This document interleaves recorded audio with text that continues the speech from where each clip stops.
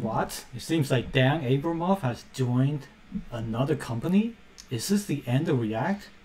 Well, I, yesterday I was browsing Twitter and I well X, and I found out that Dan Abramov changed his name to Dan Abramov Social. So what is this about? Let's check it out. So it looks like he has a new job. He says, I have a new job. My first day was yesterday, but I felt too stressed to announce. Monday feels like waiting forever. Might as well announce now.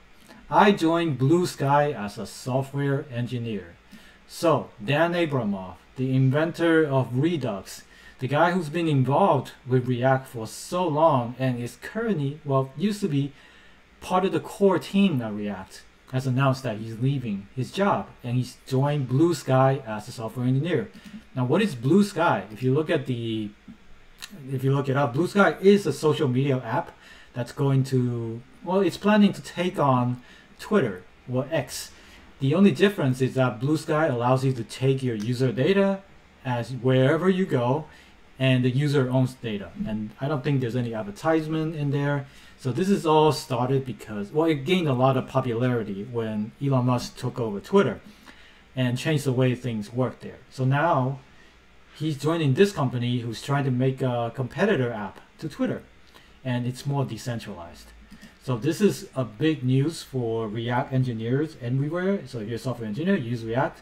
You might be worried that you know this guy who's been so involved in React is leaving. Uh, you might be worried that you you have to use something else now if React is no longer popular, right? Well, don't be worried.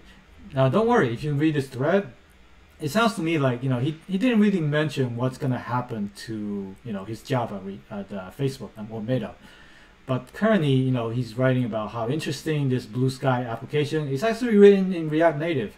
So I guess they post him because he's you know very very involved with React and he can help contribute to the app. So keep in mind that Dan Abramov, even though he may he's super popular, he's not like a rich person he's still an engineer, and I think he posted his salary a while back. He's not making more than 200 as a base salary. So he's not like someone who's rich, but uh, he's, he's definitely getting paid well as an engineer on the core React team. So, you know, the reason he's joining Bluesky is the product itself is interesting to me. Twitter used to be one of my favorite products, but he felt completely about the new direction, so that's why he moved out to, you know, Bluesky, to another product that he hopes can build out uh, to his liking. So the core team, you know, he, another thing he mentioned is that the core team from Bluesky, he really, really liked the people. So that's why he took the punch. Uh, he he feels like the culture there is very reminded him of you know early uh, Facebook culture. So he definitely yeah definitely wants to you know change something. And I don't blame him if you want to if he's been working on React for so long now, and this is a good chance for him to you know re- to go to another company and figure out what he can learn from there. So he also talked about what he wants Bluesky to become. Uh, here, like the main reason I joined was because I really like the people I met on the team. So it might be a weird thing to say, but it feels like they respect posting as a form. Some on this solution were earlier decentralization attempts, but excited to try again with focus on UI. So he's going to contribute that. And it seems like the community is really, really supportive of him changing his direction in his job, his career. So I'm really happy for him too, uh, because I a few times ago I did actually reach out to him on Twitter to ask him about you know how things work uh, about a specific question. And he was super patient and he actually responded and took the time out of his busy day to respond to my questions. So I have nothing but big respect for Dan, and I wish him the best of luck.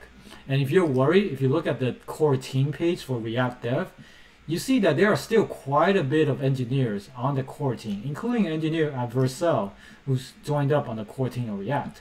So you do have, you know, big heavy hitters still continue to maintain React, and React is an open source code base, so there's going to be a lot of engineers in the community who can help contribute to it. So nothing to worry about. React is not going anywhere. You don't have to learn another framework. React is still going strong, so if that's worry, what you're worried about, do not be worried. There's a ton of smart engineers just as capable as Dan Abramov who are still working on React. So let me know what you think. What do you think about you know Dan leaving so suddenly? What do you think about his new app, uh, Bluesky? And what do you think about you know the future of React? Are you worried? Let me know in the comments below. And that is it for today's video. I'll see you guys in the next video.